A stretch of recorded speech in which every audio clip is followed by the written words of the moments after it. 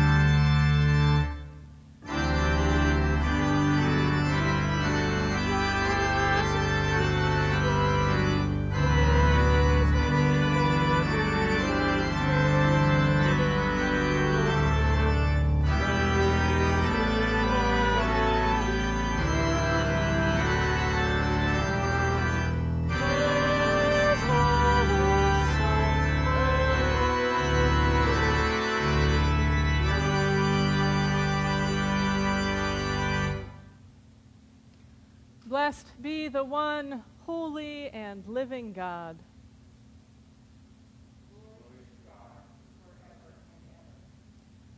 Let us pray together. Almighty God, to you, To you all hearts are open, all desires known, and from you no secrets are hid. Cleanse the thoughts of our hearts by the inspiration of your Holy Spirit, that we may perfectly love you and worthily magnify your holy name. Through Christ our Lord. Amen.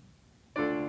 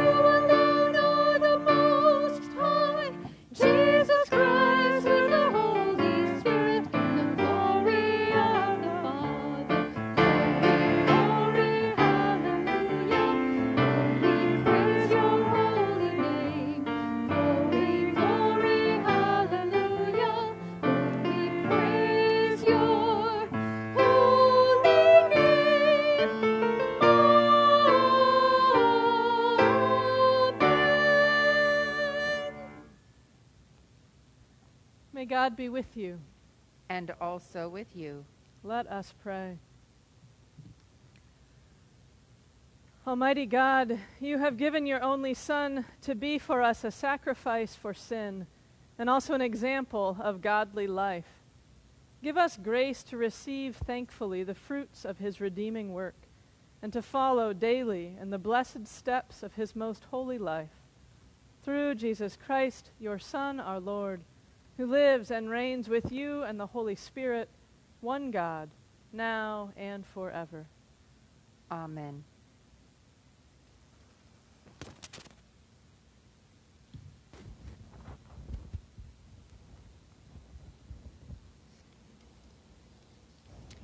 A reading from the book of Genesis. Joseph could no longer control himself before all of those who stood before him, and he cried out, Send everyone away from me. So no one stayed with him when Joseph made himself known to his brothers. And he wept so loudly that the Egyptians heard it, and the household of the Pharaoh heard it. Pharaoh heard it. Joseph said to his brothers, I am Joseph. Is my father still alive? But his brothers could not answer him. So dismayed were they at his presence. Then Joseph said to his brothers, Come closer to me. And they came closer. He said, I am your brother Joseph, whom you sold into Egypt. And now do not be distressed or angry with yourselves because you sold me here for God sent me before you to preserve life. For the famine has been in the land these two years, and there are five more years in which there will be neither plowing nor harvest. God sent me before you to preserve for you a remnant on the earth, and to keep you alive, and to keep alive for you many survivors. So it was not you who sent me here, but God. He has made me a father to Pharaoh the Lord of all his house, and ruler over the land of Egypt. Hurry and go up to my father and say to him, Thus says your son Joseph God has made me Lord of all of Egypt. Come down to me, do not delay. You shall settle in the land of Goshen, and you shall be near me. You and your children and your children's children, as well as your flocks, your herds, and all that you have. I will provide for you there since there are five more years of famine to come, so that you and your household and all that you have will not come to poverty. And now your eyes and the eyes of my brother Benjamin see that it is my own mouth that speaks to you. You must tell my father how greatly I am honored in Egypt, and that all you have seen. Hurry and bring my father down here and he fell upon his brother Benjamin's neck and wept. And Benjamin wept on his neck, and he kissed all his brothers and wept upon them. And after that, his brothers talked with him. Hear what the Spirit is saying to God's people. Thanks be to God.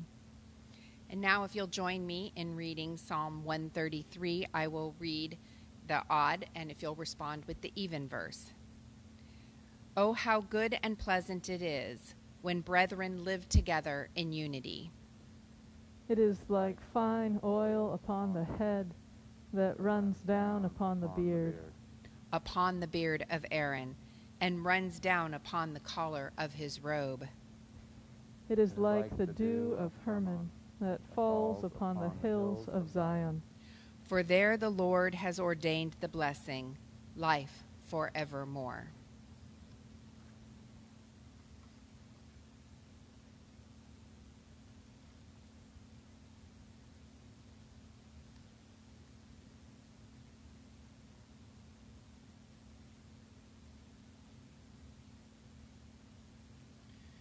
A reading from the letter of Paul to the Romans.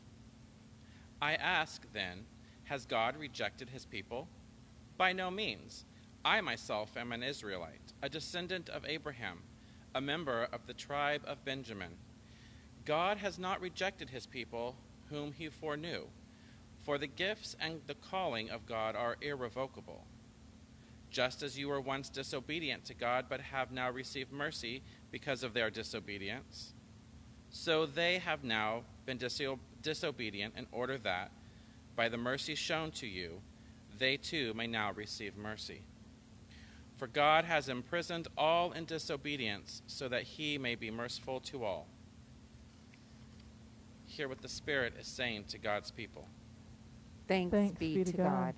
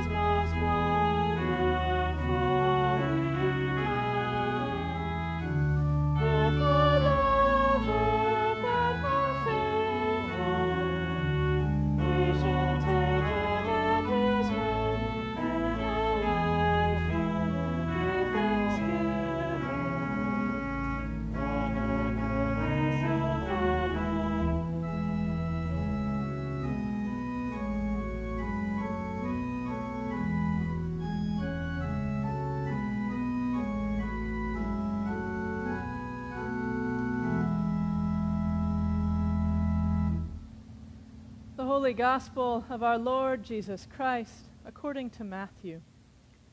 Glory to you, Lord Christ. Jesus left that place and went away to the district of Tyre and Sidon. Just then, a Canaanite woman from that region came out and started shouting, Have mercy on me, Lord, son of David. My daughter is tormented by a demon. But he did not answer her at all. And his disciples came and urged him, saying, Send her away, for she keeps shouting after us. He answered, I was sent only to the lost sheep of the house of Israel. But she came and knelt before him, saying, Lord, help me. He answered, It is not fair to take the children's food and throw it to the dogs. She said, Yes, Lord, even the dogs eat the crumbs that fall from their master's table. And Jesus answered her, Woman, great is your faith. Let it be done for you as you wish. And her daughter was healed instantly. The Gospel of the Lord. Praise to you, Lord Christ.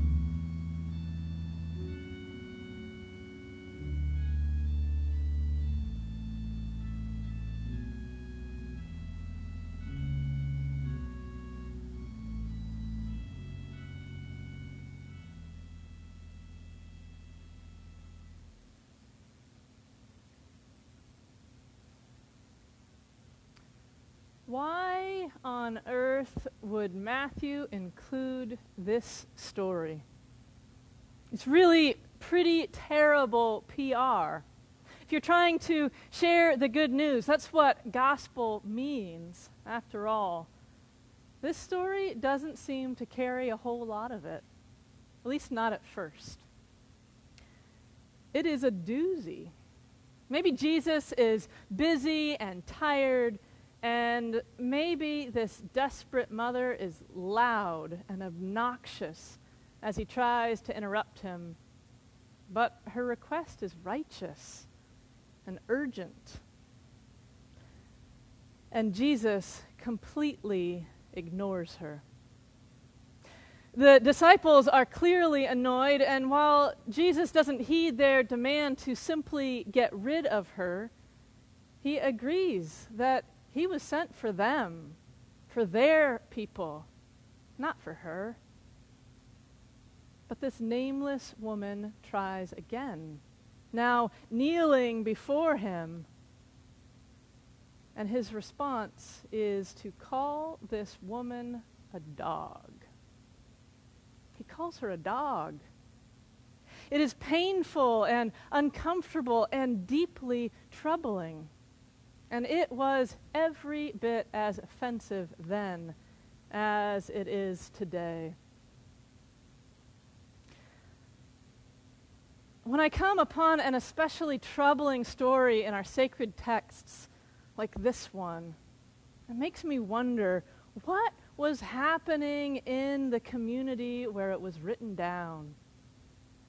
What was going on for them that they wanted to make sure that people keep hearing this story, keep wrestling with it, keep examining their lives in light of it? Well, as best we can tell, the people of Matthew's community are living in a really diverse place. And at a time when everyone feels on edge, under attack. This gospel was likely written around the year 85, so about 15 years after the temple was destroyed in Jerusalem. This was really painful. Of course it was. And it leaves the Jewish community traumatized and scrambling to reimagine who they are and how they practice their faith without that center to hold them. And so it is alongside that strife that there is this young gathering of Christians, made up of both Jews and Gentiles who are practicing a new way. And they're also crossing paths with other non Christian Gentiles, like this Canaanite woman we meet today. There are struggles for power, there are fights for land rights, there's the weight of making it economically. It is a strapped time for almost everyone. This makes for a difficult scene in which to grow a new kind of community. And this, this, I think, is why Matthew holds on to this disturbing story. These people keep telling it because it is real. They keep wrestling this story for its blessing because it exemplifies their present struggle. They see the divisions in their community. They see the possibility for connection and interdependence. And they recognize how fraught it can be to bridge that chasm. They are not wrong. Building community in diversity is hard. You know this. And I think sometimes we want to pretend that it's not. It's tempting to believe that we've somehow already risen above the challenge. We haven't. It's still hard. If it doesn't seem hard anymore, it's probably because we aren't really engaging or because we're too siloed to come up against people different from ourselves or because we step gingerly around topics that will lay bare our divisions, avoiding them in order to maintain harmony, even if it's shallow. This year, though, these next three months especially, more will be asked of us. The barrage has already begun. The name calling, the smears, the rallying people to separate themselves by blue and red, or by campaigning and opting out, or you choose the categories. There are plenty. I have no doubt that the ugliness will grow. And so, all over this country, but especially right here in this congregation, we will be asked to rise to a new level of integrity, a new degree of, of reaching to each other, reaching for each other across these lines that seem so ferociously drawn. It's hard, even for Jesus for a good long time in his ministry, at least as it's told in Matthew's gospel, he believes that he has come primarily for the sake of Israel. For the lost and hurting, the poor and the sick, the prostitutes and the tax collectors and the outcasts. But still within that house, that people. When he meets this woman, he first chooses not to hear her. She is so other. A Gentile and from the land of Canaan, this age old opponent of Israel.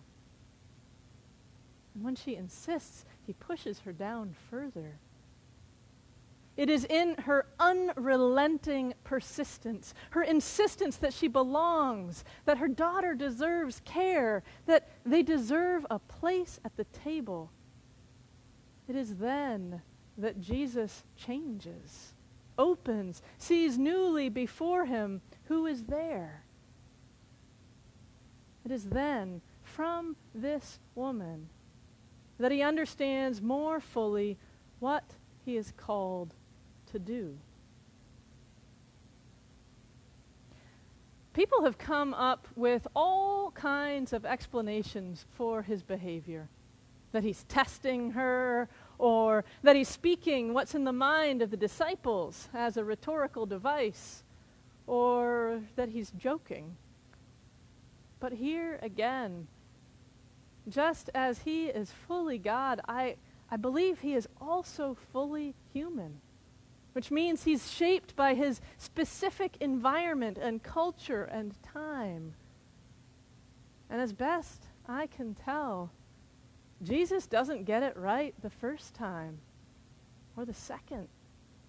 And my goodness, it is a humbling thing to realize it's going to take you three times to get something right. And then take a deep breath and still do it. And it is remarkable. Both the woman's persistence and Jesus' willingness to change course at a time when so many of us might just dig in our heels deeper. Because it's really hard to admit that we've been wrong and to choose another way. But that right there, right there where the two of them stand together. Right there is our call. The community of Matthew needed this story of messing up and persisting and finally changing and healing. We do too. This doesn't excuse Jesus' initial responses. It's never okay to, to ignore someone or exclude them from the table or to call them a dog. And at the same time, the young Christian community of Matthew needed this model. And we, we need this model because it is real. We can't give up on each other. Even though we often get it wrong the first time, or the first bunch of times. And friends, what if in the midst of that painful, awkward, heated mess, what if that movement that begins there is holy? What if it's holy to change? As much as we can resist it, what if that's among our highest callings?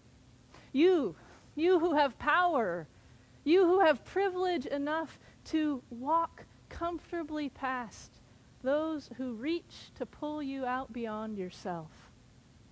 What if our great calling is to change and grow and make room in ourselves to hear these others, even if it takes three times to get there?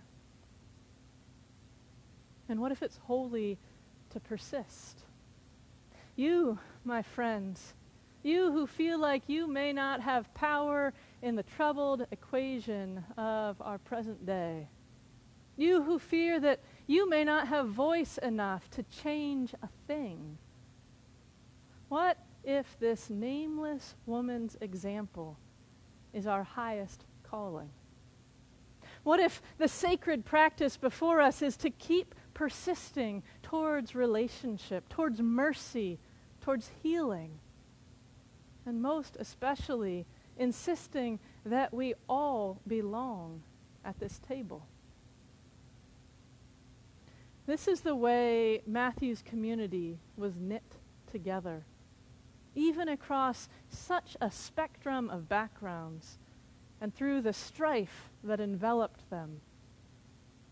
And this, I believe, is the way we will live into the kingdom here in Pleasant Hill, here in America, even now in 2020. The kingdom will come when, with God's help, we open ourselves to change, even if it takes a while. The kingdom will come when, with God's help, we persist, even when the outlook seems bleak at first, even when it remains so for a long time. We cannot give up on each other. We must keep stretching, keep opening, keep reaching until we can truly gather around this table together. All heard, all fed, all healed.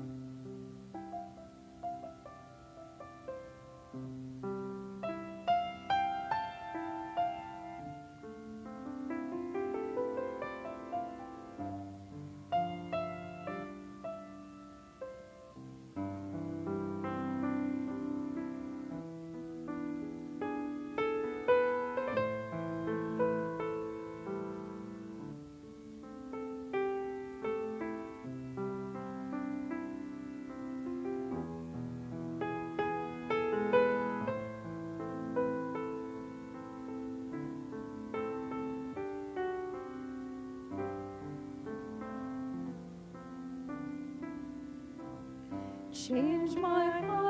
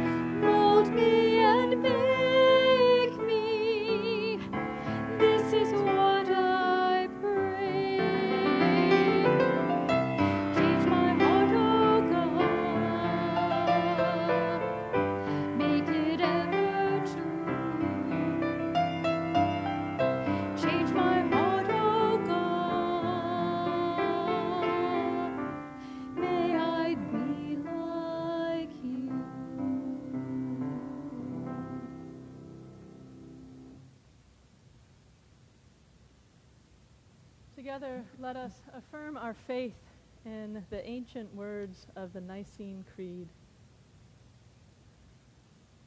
We believe in one God, the Father, the Almighty, maker of heaven and earth, of all that is seen and unseen.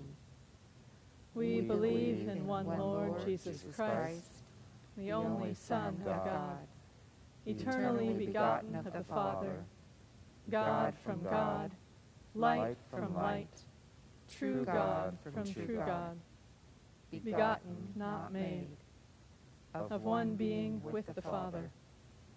Through him all things were made.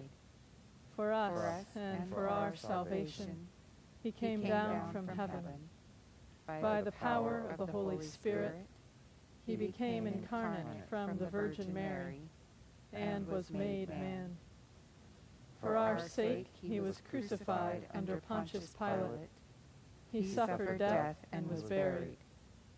On the third day he rose again in accordance with the Scriptures.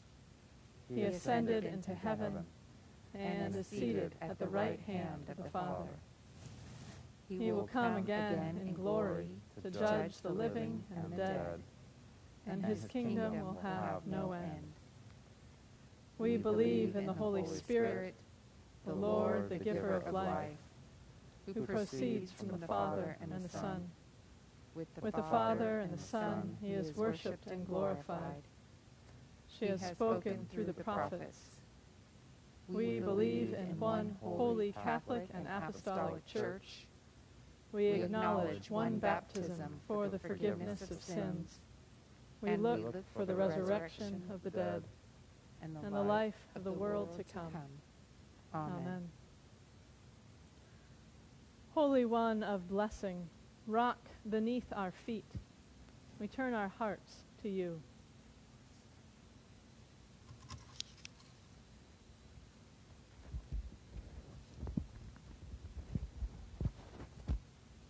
We pray for the church, your body, and the world, that all who walk this path may be grounded in your compassion. We open our hearts. Come, Holy Spirit. We pray for all who hold and seek authority in this nation, that they may guide us to prioritize the common good and reach for reconciliation among all people. We open our hearts. Come, Come, Holy, Holy Spirit. Spirit. We pray for the wonder of creation, that we may have the wisdom and strength to set aside privilege, greed, and fear, and work for your justice throughout the world. We open our hearts. Come, Holy Spirit. We pray for this gathering, that we may be bold in our care for friend and stranger.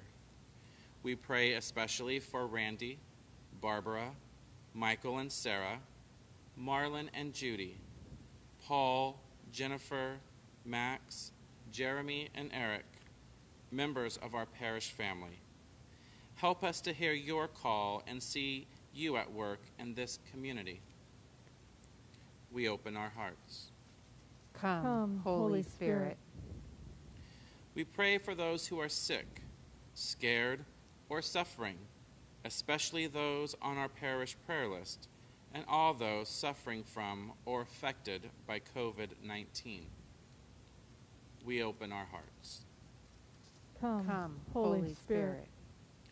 We pray for those who have died Ryan Horowitz, Maxine Reed, the Reverend Robert E. Reynolds, Desmond Rutherford, Nikolai Seleverstoff, and those we now name, Jane McClary. that they may be welcomed into the great cloud of witnesses. We pray that in time we may also come to feast at your welcome table. We open our hearts. Come, Holy Spirit. and praying together.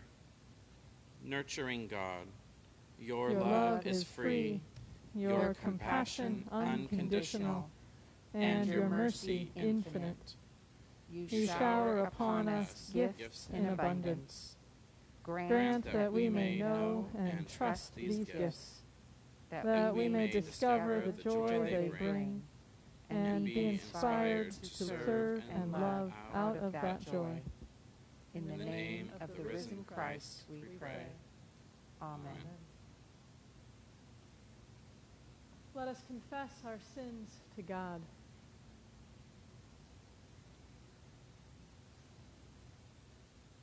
God of all mercy, we, we confess, confess, that, we have sinned against you, opposing your will in our lives. We have, we have denied your goodness in each other, in ourselves, and in the world you have created.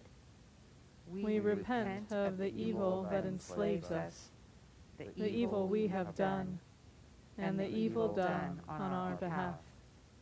Forgive, restore, and strengthen us through our Savior Jesus Christ, that we may abide in your love and serve only your will.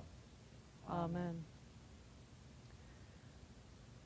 Almighty God, have mercy on you. Forgive you all your sins through the grace of Jesus Christ. Strengthen you in all goodness, and by the power of the Holy Spirit, keep you in eternal life. Amen. And the peace of Christ be always with you. And also, and also with, you. with you. Peace. Peace.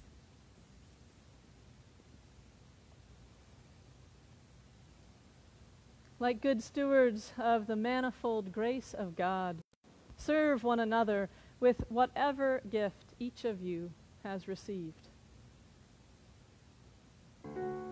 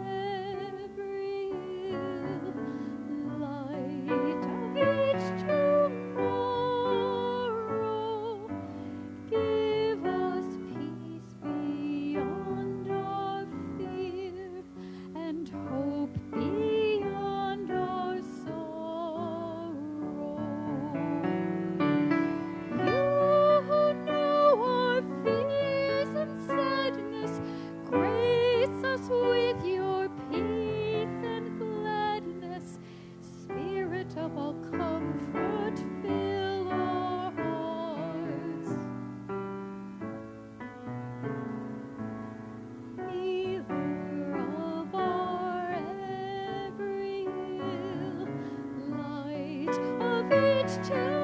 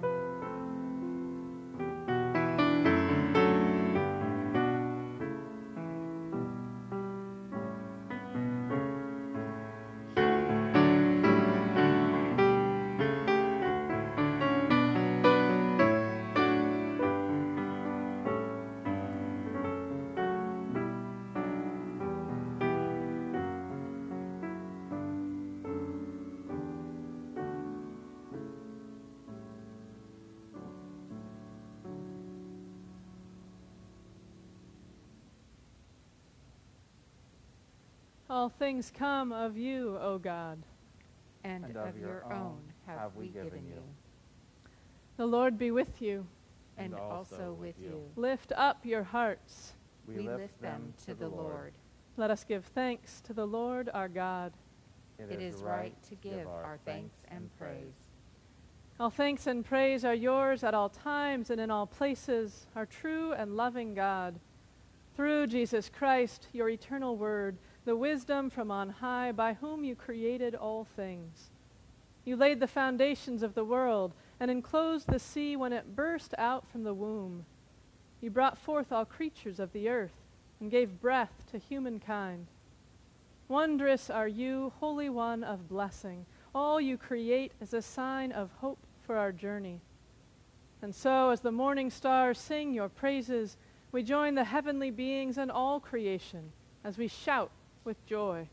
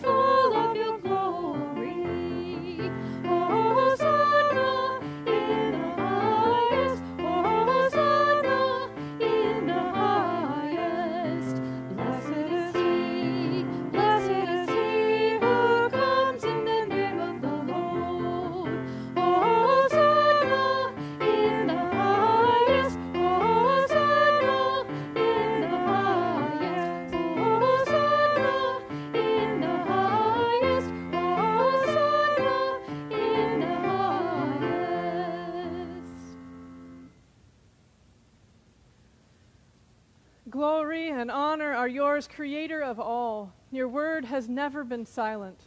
You called a people to yourself as a light to the nations. You delivered them from bondage and led them to a land of promise. Of your grace, you gave Jesus to be human, to share our life, to proclaim the coming of your holy reign, and give himself for us a fragrant offering. Through Jesus Christ, our Redeemer, you have freed us from sin, brought us into your life, reconciled us to you, and restored us to the glory you intend for us. We thank you that on the night before he died for us, Jesus took bread, and when he had given thanks to you, he broke it, gave it to his friends, and said, Take, eat. This is my body broken for you. Do this for the remembrance of me. After supper, Jesus took the cup of wine, said the blessing, gave it to his friends, and said, Drink this, all of you. This cup is the new covenant in my blood, poured out for you and for all for the forgiveness of sin. Do this for the remembrance of me. And so, remembering all that was done for us the cross, the tomb, the resurrection, and ascension, longing for Christ's coming in glory and presenting to you these gifts your earth has formed and human hands have made. We praise you and we bless you. We, we praise you, we bless you, we give thanks to you, and we pray to you, Lord our God. Send your Holy Spirit upon us and upon these gifts of bread and wine that they may be to us the body and blood of your Christ. Grant that we, burning with your Spirit's power, may be a people of hope, justice, and love. Giver of life, draw us together in the body of Christ. And in the fullness of time, gather us with blessed Mary, the God bearer, and all your people into the joy of our true eternal home. Through Christ, and with Christ, and in Christ, by the inspiration of your Holy Spirit, we worship you, our God and Creator, in voices of unending praise. Blessed, Blessed are you, now and forever. Amen. As our Savior Christ has taught us, we now pray. Our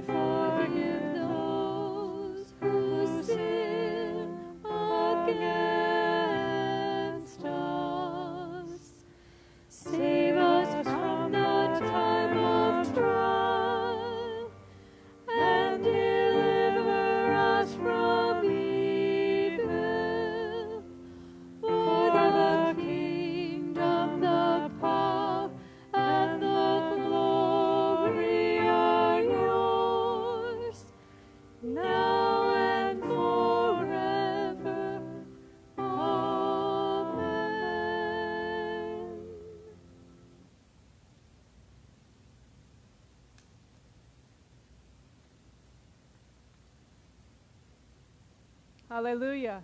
Christ, our Passover, is sacrificed for us. Therefore, Therefore, let us keep the feast. Alleluia. And let us pray together.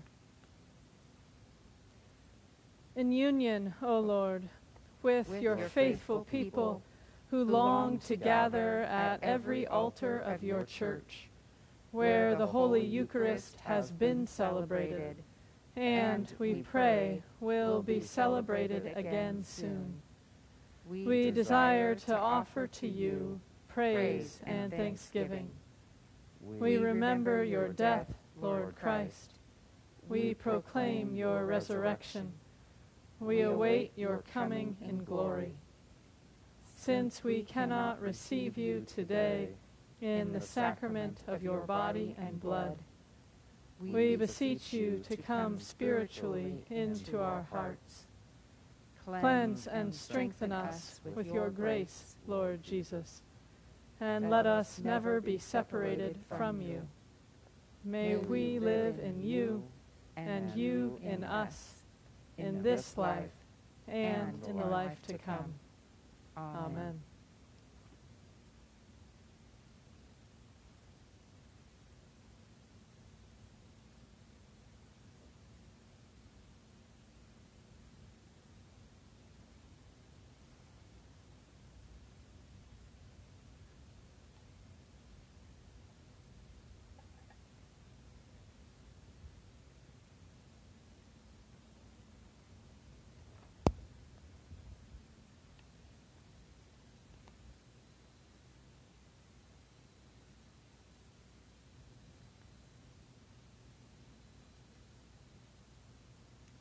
Let me pull up the live stream.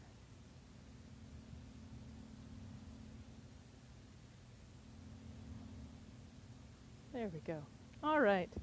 If you are celebrating a birthday or an anniversary or some other moment of grace that you want to give thanks to God for, please type that into the comments now, and in a couple minutes we will share those and pray with those all. A couple of notes about our, our common life and what's coming up. Uh, first of all, a particular welcome to you if you're visiting, if you're new around here, if you've found your way to Church of the Resurrection in this time of pandemic. Uh, however, you have ended up here, we're glad that you're here. And, you know, under normal circumstances, we would be able to say hello. We'd see you sitting here, and we'd get a cup of coffee and chat.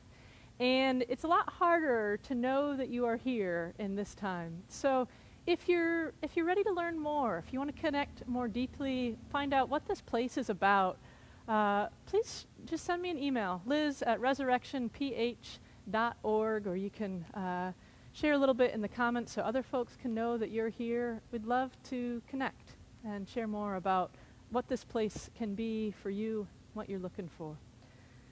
A couple of things uh, to pay attention to coming up, as you may have heard uh, in our Zoom Community of Faith meeting or read in the ministry news.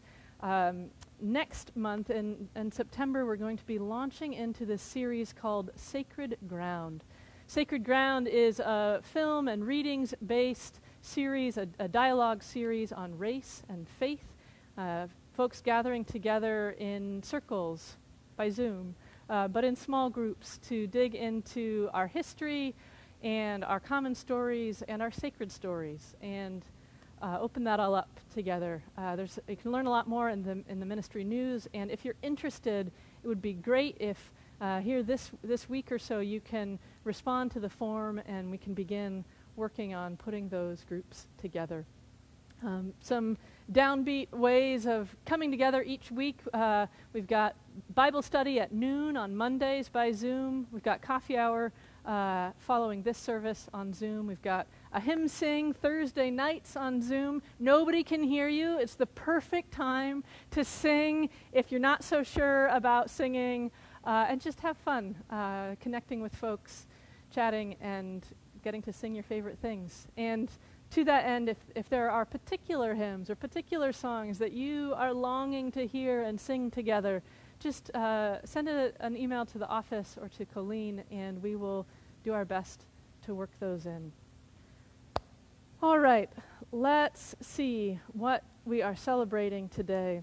Um, first of all, I want to share that on Friday, Jean placed Alan Slattery's ashes uh, at the Sacramento Valley National Cemetery, and she shared that his niche faces west to watch the setting sun.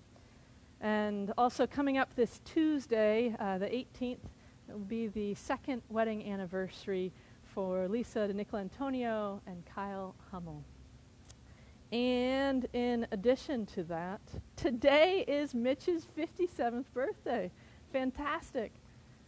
Phil and Diane's daughter Laura turns 37 on Wednesday. Dennis's birthday is August 20th, and his sister Sue's uh, on the 23rd. Mary and Phil are celebrating their 18th wedding anniversary tomorrow. And for Catherine Lloyd's family, who has been traveling and driving home for her son and his family. Yours on Friday? Fantastic. Jeremy's birthday is on Friday. Um, for our youth who are gathering tonight on Zoom, and, and yes, for uh, the beginning of online schooling for wonderful and creative and sacred teachers who are working so, so hard right now. Let us pray. Holy One, we give you thanks for all these wonders of your world, of this life that sometimes come crashing in as thunder.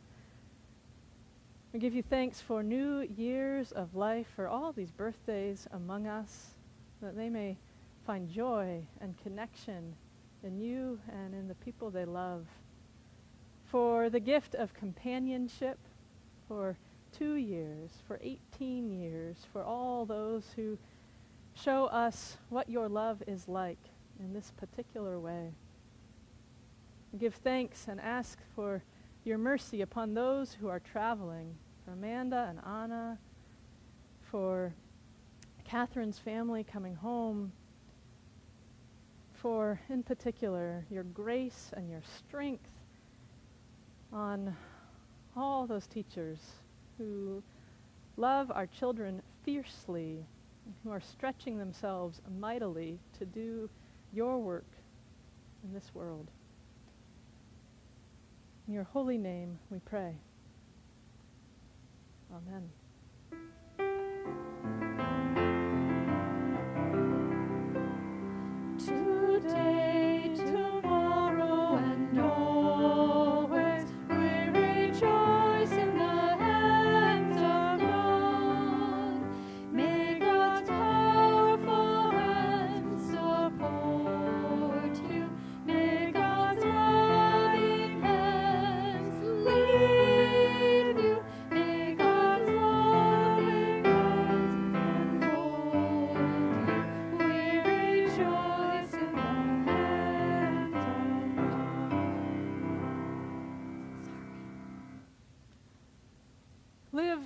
Without fear.